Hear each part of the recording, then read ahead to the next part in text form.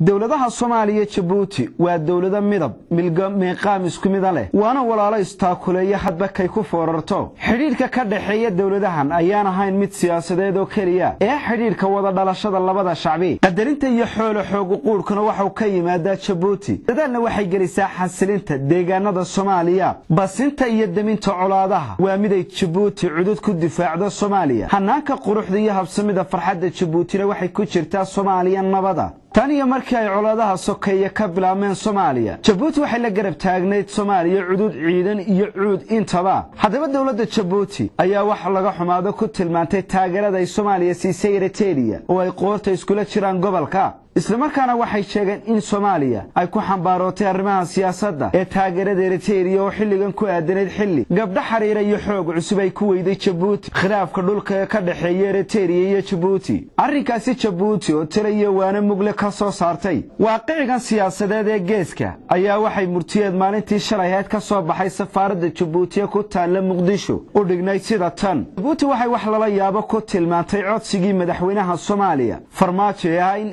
eriteliya laga qaado cunaqabatayntii la saaray labada kun iyo sagaalkii. Kaalinteeda qaska ay ka wada dalalka deriska ah gaar ahaan taageerada al-shabaab iyo kooxo argagixiso ah oo jabuuti qas ka wada. Qaran ahaan soomaaliya waxay xiriir la yeelan kartaa. Dalalka kale ee gobolka laakiin wax la aqbali kara ma aha in walaalaheenna soomaaliya ay taageeraan eriteliya oo haysata dhulkeenna. Islamarkaana inkirtay inuu dhul jabuuti yahay. Waxaa xikmad ahaan lahayd inay qoraalka ku darto soomaaliya inuu jiro muran dhul u dhexeeya eriteliya iyo jabuuti raadiyo sidii loogu heli lahaa xal siyaasadeed. Jabuuti waxay dagaal uga dhin jabuuti waxaa dagaalka uga dhintay rag iyo haween. Geesiyaal ahaa. Welina muranku waa sidaasi darteed waxa si dhab ah. Sidaasi daraaddeedna waxa si dhab ah u qaadatay taageerada indhala-aanta ah ee walaalaheen soomaaliya. Ay siiyeen dowladda eriteliya axmed maxamed maxamuud axmed koobi. Telefishinka fadcas hargeysa